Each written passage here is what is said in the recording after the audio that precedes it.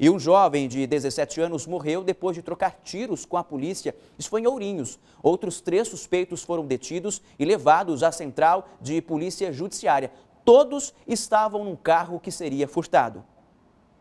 Tudo começou quando a polícia se deparou no centro da cidade com este carro que havia sido furtado dias antes. Dentro dele estavam quatro ocupantes que teriam atirado na direção dos policiais. Segundo os policiais militares, é, houve uma, um acompanhamento, uma perseguição. Em dado momento, alguém de dentro do veículo efetuou um disparo contra os policiais que revidaram. Eles pararam o, o veículo. É, os ocupantes do veículo pararam e tentaram correr. Dois foram detidos e outros fugiram. Começou então uma perseguição pela periferia de Ourinhos. Mais um suspeito foi preso sem oferecer resistência ainda faltava o último ocupante. Aqui na rua Francisco Dias Negrão, no bairro Josefina, a polícia estava fazendo patrulhamento justamente para tentar localizar o último foragido desta ocorrência.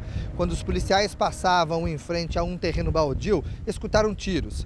Eles desceram da viatura e foram novamente recepcionados a tiros. Tiros que foram revidados e acertaram um jovem de 17 anos de idade.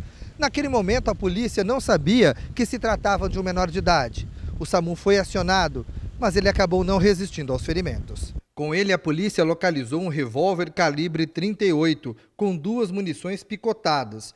Os suspeitos detidos, o carro e as armas foram levados à central de polícia judiciária. Laudos da perícia vão ajudar a comprovar as versões apresentadas pelos policiais. Foi colhido, colhido material residuográfico dele, é, dos próprios policiais que assumem que efetuaram os disparos. O local foi periciado. É, a, as investigações agora, é, na forma que preconizam as resoluções da Secretaria de Segurança Pública, elas seguem a cargo da Delegacia de Investigações Gerais de Ourinhos.